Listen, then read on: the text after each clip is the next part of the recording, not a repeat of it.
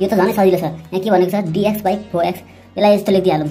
Dx divide by under root two एक्सको whole square plus नाइनलाई three square यस्तो लेखिदिउँ त्यसपछि अब फर्मुला हाल्नुपर्छ। कुन सुइटेबल छ भनेर। यहाँ प्लस भएको फर्मुला हेर्नुपर्छ। प्लस भएको फर्मुला यो छ। यहाँ के छ? एक्स मात्रै छ। अब यहाँ त टु एक्स छ। अब एक्स बनाउनको लागि के गर्नुपर्छ हामीले? Let two x equals to y यो लेट गर्नुपर्छ। त्यसपछि दुईतिर differentiating both side with respect to x तब यस्तो हुन्छ हाम्रो d into two x divide by dx equals to divide by dx यसको डेरिभेटिभ कति हुन्छ? टु हुन्छ। यसलाई यतिकै छोडिदिउँ डिभाइड बाई डिएक्स हामीलाई यहाँ चाहिएको छ डिएक्सको भ्यालु त्यही भएर अब यस्तो गर्नु।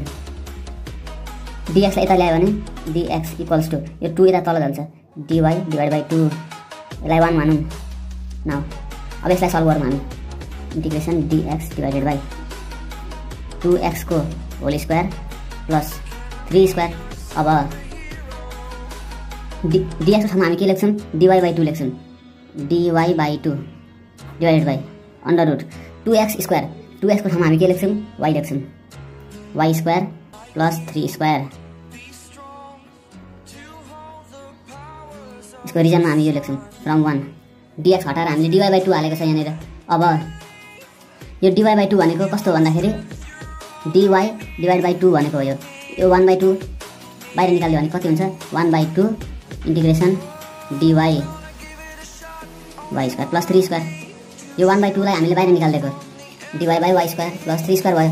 त्यसपछि अब यसको फर्मुला कुन छ सुइटेबल प्लस भएको फर्मुला भनेको यो log x plus x square plus a square त्यो फर्मुला हाल्नुपर्छ अब। One by two bracket log एक्सको ठाउँमा हाम्रो के छ? वाइ छ। त्यो भएर हामी वाइ लेख्छौँ plus y square plus a square भनेको three square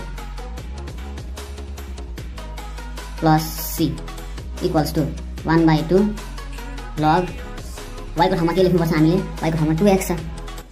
Two x plus two x square भनेको four x square plus three square भनेको नाइन प्लस सी यो हाम्रो एन्सर यो पनि सजिलै छ टु नम्बर।